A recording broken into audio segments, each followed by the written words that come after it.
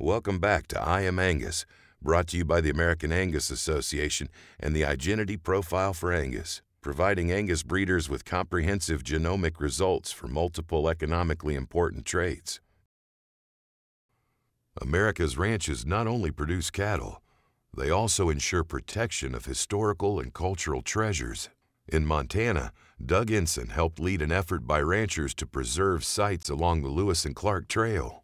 And a few steps from his home, the site where Fort Parker once stood is now protected forever.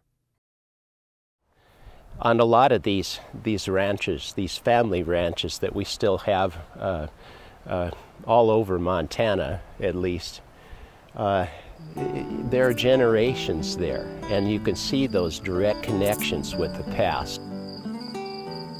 We, we've always felt uh, really protective of this site because uh, it, is part of our history, which of course uh, helps to explain uh, who we are and why we're here. There's that strong connection with the past and what those people were and what they did actually helps to explain where we are today. Sometimes we're a bit presumptuous or pretentious, uh, but it was their dreams that drove them and gave them that determination to act on it. And it seems to me that that's what we need in uh, looking into the future as well, is, uh, is that same kind of hope, uh, the same ability to dream about the possibilities. And, uh, and here they found hope, here they found space.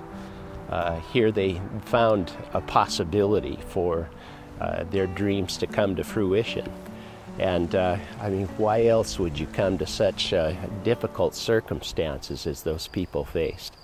Uh, those homesteaders on the frontier, an amazingly high failure rate, yet the dreams were there. There were possibilities here. Well, I think, I think ranches are at least one clear example of of the past uh, uh, telling the story of the present, the past actually creating the present, because that history, that family history, has created who I am.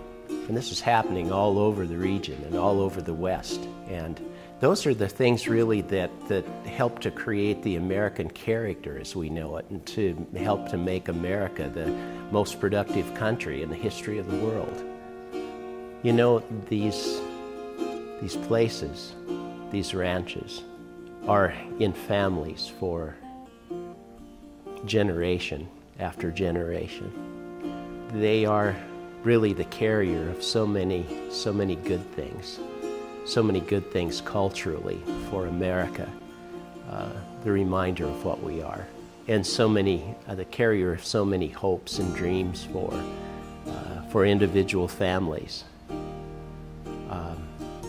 And I see in these ranches really the preservation of American society, a reminder of what we are. And sometimes I think we've lost some of that the pride and the determination, the drive, and the stubbornness, um, the truthfulness, the independence, strength of character that all grow out of the experience of living in rural areas and working with difficult economic situations, uh, uh, dealing with the vagaries of world markets and, and the weather. What a crazy industry to depend on those things.